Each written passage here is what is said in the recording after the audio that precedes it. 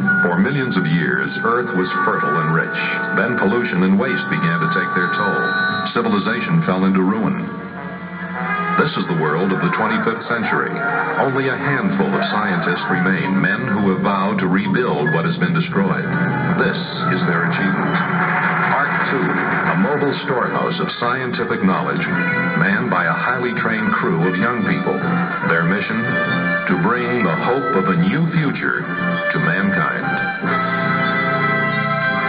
2 log, entry number one. I, Jonah, Ruth, Samuel, and Adam are fully aware of the dangers we face as we venture into unknown, maybe even hostile areas.